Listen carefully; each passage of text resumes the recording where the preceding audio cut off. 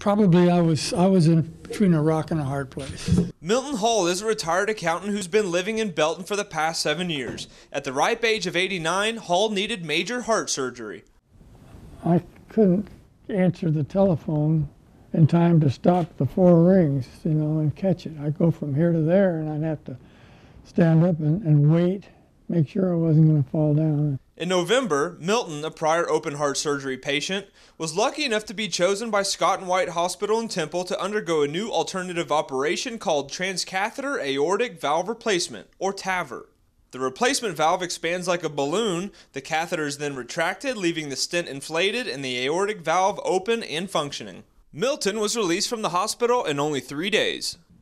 The next day after this type operation, I was up walking around on the floor here at the hospital.